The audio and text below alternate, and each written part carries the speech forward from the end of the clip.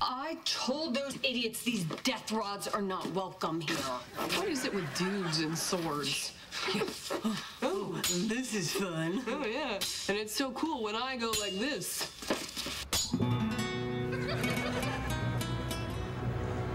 Hi, my name is Rodrigo de Goya. You killed someone I love. Prepare to dance. Yes, kids, that's what your Aunt Lily thought the line was.